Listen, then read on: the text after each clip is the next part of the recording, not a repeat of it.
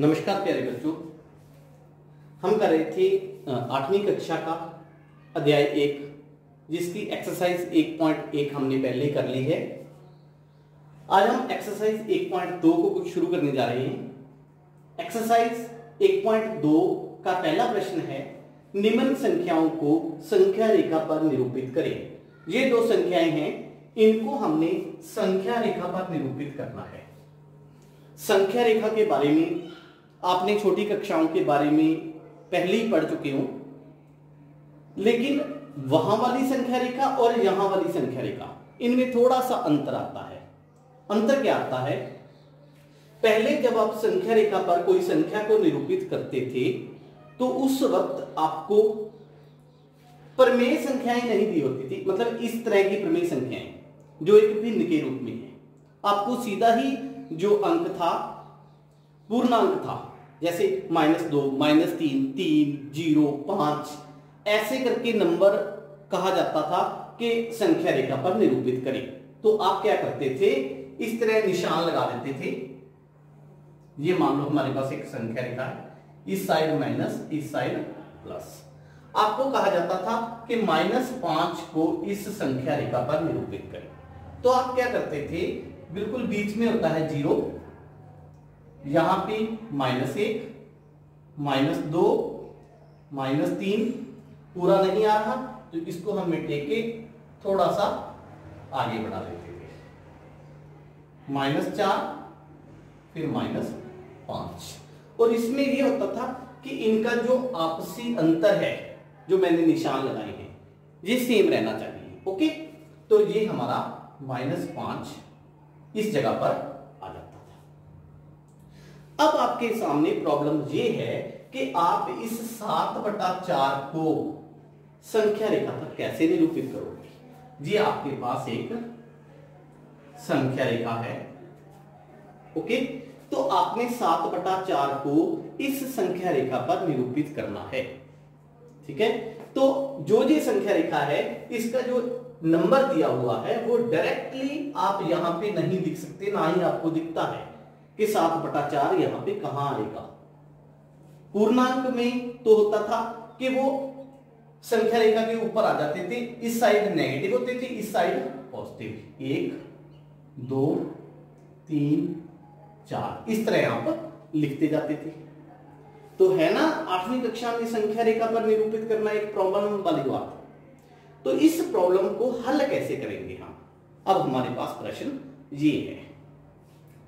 इसका बेटा एक सीधा सा सोल्यूशन ये है, अगर आपने पहले ये निशान लगा लिए, ठीक है, एक, दो, तीन, चार, पाँच तो आप इसको संख्या रेखा पर सही तरह से नहीं दिखा सकते। कुछ ना कुछ गलती रहेगी। तो इसका तरीका क्या हुआ फिर? तरीका ये है, हमें देखो प्लस का चाहिए ना ये। इसके आगे कोई भी माइनस का निशान नहीं लगा हुआ। प्लस का है ये। ये ऑटोमेटिक क्या है? प्लस का है। तो मैं ज़ीरो इसके यहाँ पे लिख लेता हूँ, क्योंकि इस साइड मेरे को जाना है। अगर मैं ज़ीरो यहाँ लिखता तो मेरे को ये जो संख्या रेखा है, थोड़ी आगे ले जानी पड़ती।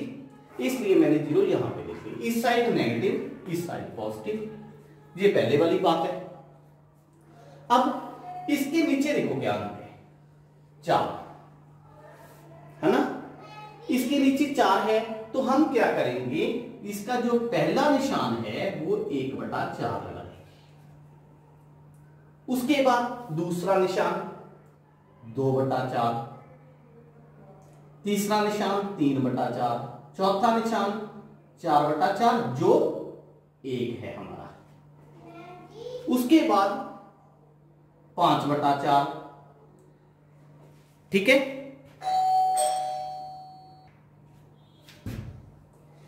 इसके बाद आता है छ बटा चार, फिर सात बटा चार। आठ बटा चार अगर हम इसके बाद लिखते हैं, आठ बटा चार, आठ बटा चार क्या आएगा? इसको जब हम कट आउट करेंगे, इसको कट आउट किया तो एक आ गया था, इसको कट आउट किया तो हमारे पास आ गया दो। ओके? हमने क्या दिखाना था? प्लस का सात बटा चार। तो ये पड़ा है हमारा प्लस का सात बटा चार। ये हमारा आंसर आ गया। अब इसी पहले प्रश्न में ही अभी हम रुकते हैं, दूसरे पर नहीं जाते। आपको एक चीज़ समझाना चाहता हूँ कि सपोज़ कर लो कि आपने इसको पहले नंबर लाइन ले ली होती इस प्रश्न को पहले हम यहाँ पे ज़ीरो लिख देते, फिर एक लिखते, फिर दो लिखते, फिर तीन लिखते, है ना? हमने सात बटा चार लिखाना था। तो नीचे चार है। नीचे वाले चार का मतलब ये हुआ कि हर एक पार्ट कितने भागों में बटा हुआ है? चार भागों में बटा हुआ है। जैसे देखो, जहाँ ज़ीरो था, फिर एक आया, फिर दो आया। हर एक पार्ट कितने भागों में बटा हुआ है? एक भाग, दो भाग, तीन भाग और चार भाग। अब यहाँ पे बराबर बराबर चार भागों में बांटना बड़ा मुश्किल हो जाता है और बराबर दूरी पर निशान भी नहीं लगती इसलिए हमने जो एक बटा चार वाला पार्ट था, उसको ही पहला निशान दे दिया। ठीक है? तो ये तरीका आप याद रखना कि जब भी आपको एक भिन्न के रूप में संख्या दी हो, उसको हमने संख्या रेखा पर निरूपित करना हो। और भी प्रश्न करेंगे, आपको काफ़ी प्रैक्टिस हो जाएगी इसकी। संख्या रेखा पर निरूपित करना हो तो उसका जो हर होगा ठीक है? उसके जो पार्ट हैं, वही हम लेकर आगे आगे। क्लियर अब इसका दूसरा प्रश्न हम देखते हैं। माइनस पाँच बटा छ। इसको हम संख्या रेखा पर निरूपित कैसे करेंगे? माइनस पाँच बटा छ के लिए हम नंबर लाइन ड्रॉ करते हैं। हमने माइनस का जो नंबर है, उसको संख्या रेखा पर दिखाना है। इस साइड माइनस है, इस साइड प्लस है। तो हम अपनी ज़ीरो कहाँ पे लिखें? हम ज़ीरो इस साइड लिखें। क्यों? क्योंकि ज़ीरो के हमने इस साइड वाला जो पोर्शन है, इसको हमने यूज़ करना है इसके लिए। ठीक है? तो माइनस पाँच बटा छ है जो, कैसे दिखाएँगे? पहले आपको बता दिया है। इसका नीचे हर कौन सा है? छह पहला निशान क्या लगेगा फिर? एक बटा छ दूसरा निशान, दो बटे छ तीसरा निशान, तीन बटा छ चौथा निशान, चार बटा छ पांचवा निशान, पाँच बटा छ यहाँ पर मैं एक गलती कर रहा हूँ। आपने नोटिस किया? शायद नहीं किया। गलती क्या है? ज़ीरो के लेफ़्ट साइड हम चल रहे हैं। जी होता है लेफ़्ट हैंड साइड ये होता है राइट हैंड साइड है ना? तो लेफ़्ट हैंड साइड ज़ीरो के जो होता है, वो माइनस के निशान होते हैं। सारे माइनस के अंक होते हैं। और ज़ीरो के राइट हैंड साइड प्लस के तो यहाँ पे मैं क्या लिखूँगा? माइनस माइनस तीन बटा माइनस चार बटा माइनस पाँच बटा छ फिर माइनस छ बटा छ ये क्या आ जाएगा? कट कटाकर माइनस का एक। क्लियर तो हमने क्या डिस्प्ले करना था? संख्या रेखा पर ये वाला ये हमारा आंसर आ गया। ये था हमारा पहला प्रश्न। इन दोनों संख्याओं को हमने संख्या रेखा पर कैसे निरूपित करना था? अब बारी आती है प्रश्न नंबर दो की। प्रश्न नंबर दो हमें कहता है, माइनस दो बटा ग्यारह, माइनस पाँच बटा ग्यारह, माइनस नौ बटा ग्यारह। को संख्या रेखा पर निरूपित करें। इन तीनों संख्याओं को हमने एक ही संख्या रेखा पर निरूपित करना है। तो इसका सॉल्यूशन या हल क्या होगा? संख्या रेखा बनाते हैं हम सबसे पहले। ओके? ये है हमारे पास लेफ़्ट हैंड साइड ये है हमारे पास राइट हैंड साइड बीच में ज़ीरो होती है। तो हमने जो संख्या रेखा पर अंक निरूपित करने हैं, वो सारे कौन से हैं? माइनस के हैं। तो हम ज़ीरो किस साइड लिखें? इस साइड लिखें। क्योंकि हमने माइनस वाला, ये वाला एरिया इसका यूज़ करना है। ये प्लस है। तो नीचे क्या है हमारे पास यहाँ पे? इसके हर में क्या है?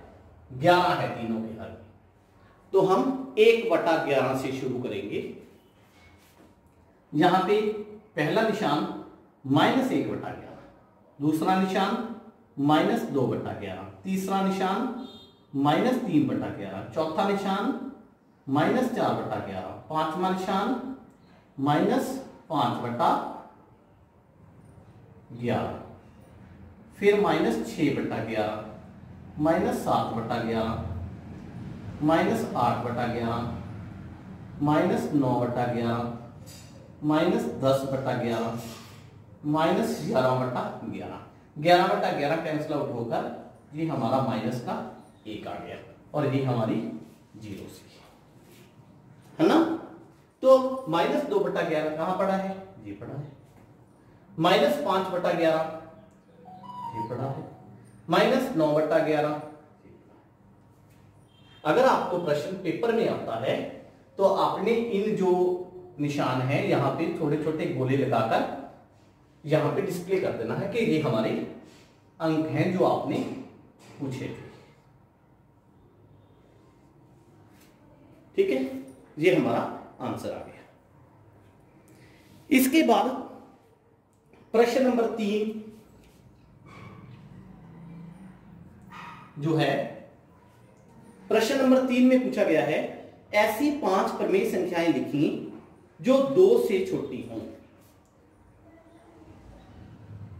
पाँच प्रमेय संख्याएँ जो दो से छोटी हों। वो बताओ कौन सी ये बिल्कुल आसान सा प्रश्न है। संख्या रेखा बना लो। ये देखो। संख्या रेखा left hand side right hand side बीच में ज़ीरो यहाँ पे एक, यहाँ पे दो, है ना? इस साइड माइनस एक माइनस दो माइनस तीन माइनस चार माइनस पाँच, ऐसे चलता रहेगा ना? अब आप सोचोगे कि मैंने इस साइड क्यों नहीं संख्याएँ लिखी? उसने क्या कहा है? पाँच प्रमेय संख्याएँ बताएँ जो दो से छोटी हैं। किससे छोटी है? दो से। तो दो से इस साइड वाली सभी संख्याएँ दो से क्या होंगी फिर? छोटी हो जाएँगी ओके तो आपका आंसर क्या आएगा? क्या आना चाहिए आपका आंसर? यहाँ से स्टार्ट कर दो। एक, ज़ीरो, माइनस एक, माइनस दो, माइनस तीन, माइनस चार, जितनी मर्ज़ी लिखते जाए आप। ये सभी संख्याएँ दो से छोटी हैं। अगला प्रश्न प्रश्न है हमारे पास। माइनस दो बटा पाँच और एक बटा दो के मध्य दस प्रमेय संख्याएँ ज्ञात करें। अब क्या है? आपको दो नंबर दे दिए इन्होंने। इनके बीच में दस प्रमेय संख्याएँ हमने ज्ञात करके दिखानी है। तो हम कैसे ज्ञात करेंगे? इसका हल क्या है? देखो बेटा जब आपको भिन्न दी गई होती है, ये दोनों भिन्न है ना? प्रमेय संख्याओं के रूप में ये भिन्न भी हैं। प्रमेय संख्या तो एक माइनस एक, दो, तीन, चार, ये भी होती है ना?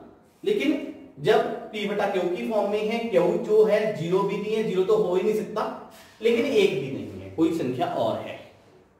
ठीक है? अगर इसका हर एक होता तो ये एक भिन्न का रूप ना लेता, जैसे माइनस दो बटा एक होता तो माइनस दो ही हो जाता। हम दिखा सकते हैं। इनके बीच में दस प्रमेय संख्याएँ हम कैसे ज्ञात करेंगे? तो सबसे पहले इसका जो इन दोनों का हर है, ये वाला, इनको बराबर करना होगा। कैसे करेंगे? माइनस दो बटा पाँच और एक बटा दो के मध्य। यही निकालनी है ना हमने। यहाँ से आप प्रश्न को स्टार्ट करते हैं। या।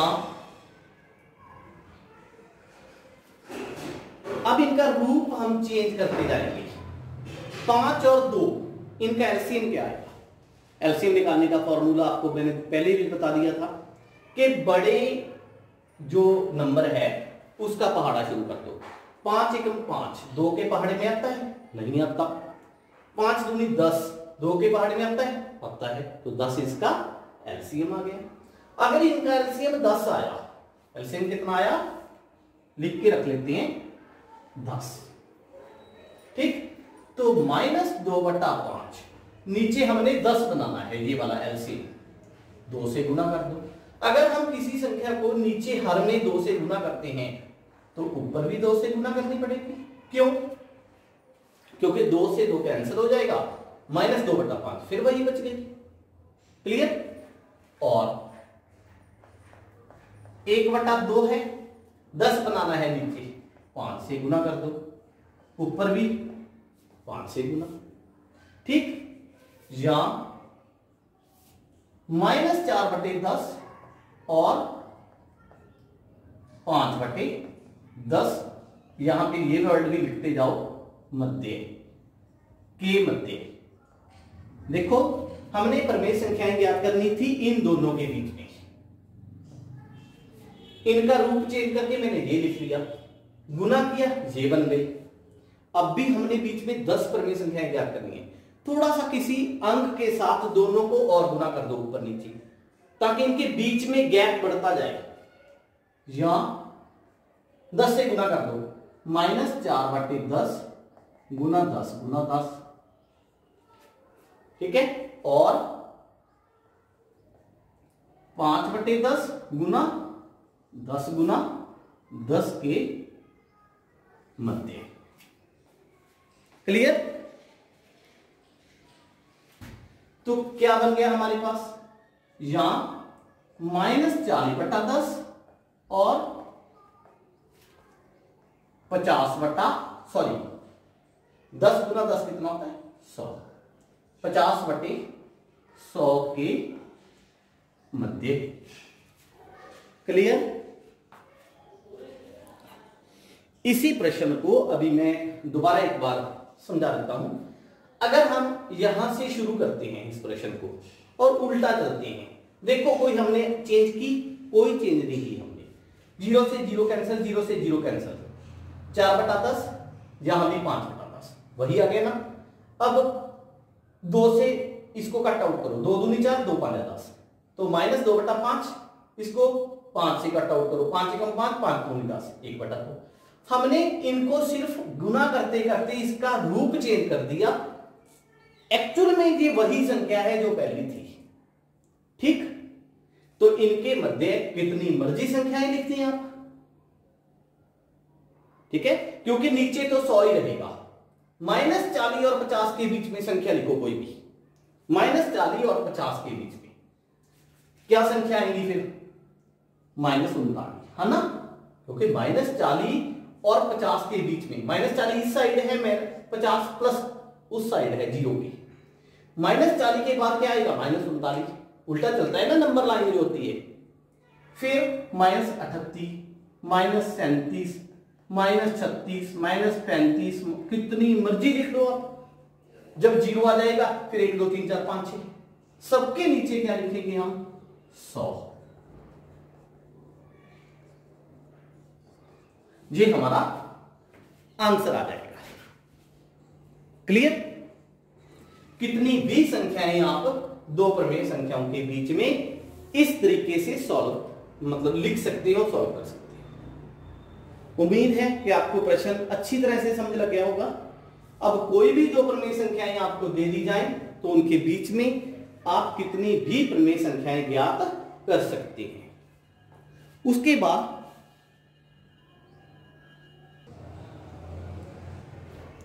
अगला प्रश्न है हमारे पास। प्रश्न नंबर पाँच का पहला भाग है। दो बटा तीन और चार बटा पाँच के मध्य पाँच प्रमेय संख्याएँ ज्ञात करें। इसको हम कैसे हल करेंगे? देखते हैं। वैसे तो पहले प्रश्न में मैंने डिटेल में आपको बता दिया कि किसी भी दो अंकों के बीच में, प्रमेय संख्याओं के बीच में कितनी भी संख्याएँ ज्ञात की जा सकती है। देखते हैं इसको। तीन और पाँच, ये इसके हर हैं। वहीं से स्टार्ट करते हैं। दो बटा तीन और चार बटा पाँच के मध्य है ना? अब तीन और पाँच का एलसीएम क्या आएगा एलसीएम बड़े का पहाड़ा पढ़ो। पाँच का। पाँच के पहाड़ में तीन आता है? नहीं। पाँच एकम पाँच में। पाँच दूनी दस में तीन आता है? नहीं। पाँच ये पंद्रह। पंद्रह में तीन आता है? यस पंद्रह तीन के पहाड़े में आता है। इसलिए इसका एलसीएम कितना हो गया? पंद्रह। और दूसरी बात जब किसी भी दो नंबरों का कोई भी साझा गुणनखंड नहीं होता तो उनकी जो गुना होती है, वही उनका एलसीएम हो जाता है। क्लियर अब यहाँ पे लिखते हैं हम यहाँ दो बटा तीन गुना, इसको ना आप ऐसे करके लिख लो। मैंने नीचे पंद्रह बनाना है ये वाला। तो तीन मेरे पास है। बनाना है पंद्रह। कितने से गुना करूँ तीन पांजा पंद्रह, है ना? और चार बटा पाँच। पाँच मेरे पास है। पंद्रह बनाना है नीचे तो तीन से गुना के मध्य। क्लियर या पाँच कुनी दस बटे पंद्रह और चार दिए बारह बटे पंद्रह।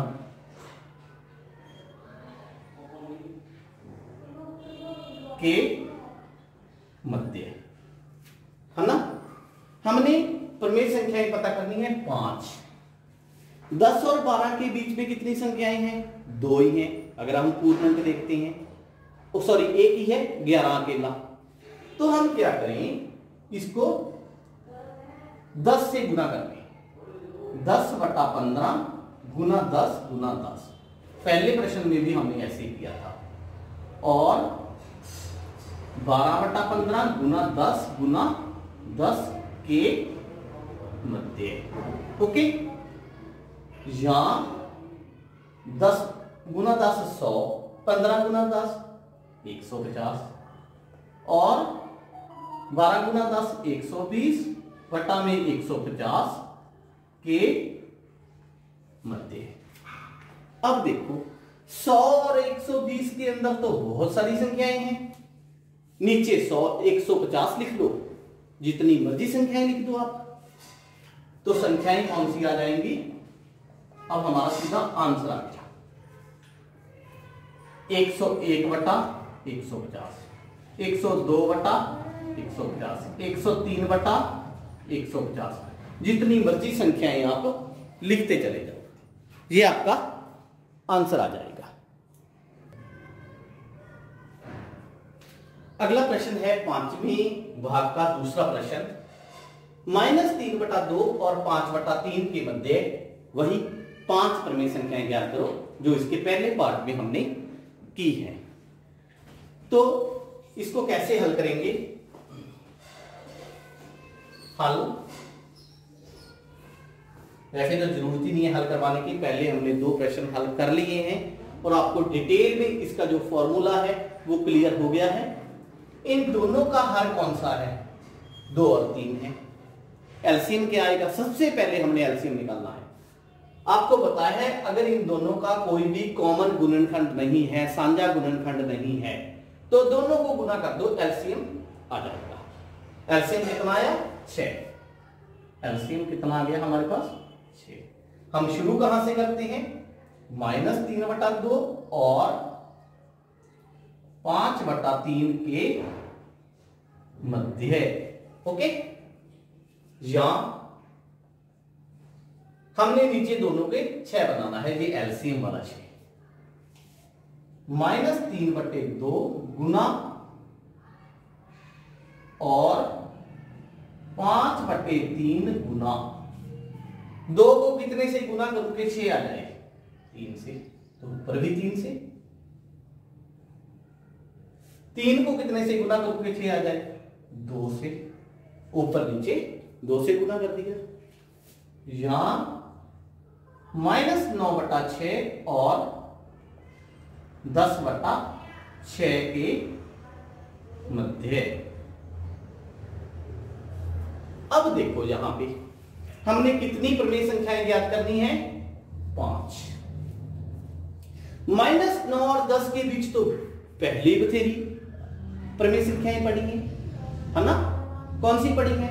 माइनस आठ, माइनस सात, माइनस छ माइनस पाँच, माइनस चार। देखो, माइनस आठ, माइनस सात, माइनस छ माइनस पाँच, माइनस चार, माइनस तीन, माइनस दो, माइनस एक, ज़ीरो, एक, दो चलता चलता नौ तक चला गया। उस साइड भी है ना? नीचे कितना है इनकी? छ छ सभी के नीचे। तो ये सारी प्रमेय संख्याएँ किसके बीच में आ गई? इन दोनों नंबरों के बीच में आ गई। कोई भी पाँच आप ले लो, वो आपका आंसर आ जाएगा।